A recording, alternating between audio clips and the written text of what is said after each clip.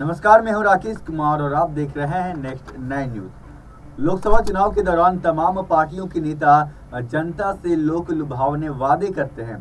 जनता किन मुद्दों पर किस नेता या पार्टी को वोट करेगी, उसे अच्छे से पता होता है।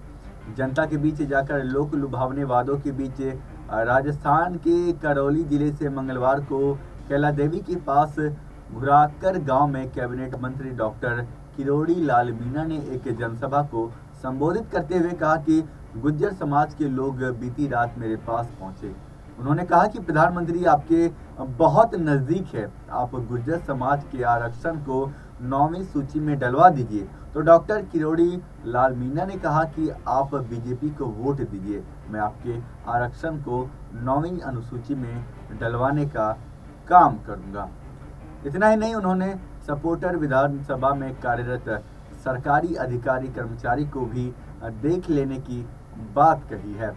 उन्होंने कहा कि अड़तीस थानेदारों को भजन लाल सरकार ने जेल के पीछे भिजवा दिया है। आगे भी यह कार्रवाई देखने को मिलेगी। यहाँ मामाचारी थानेदार की शिकायत ज़्यादा मिल रही है।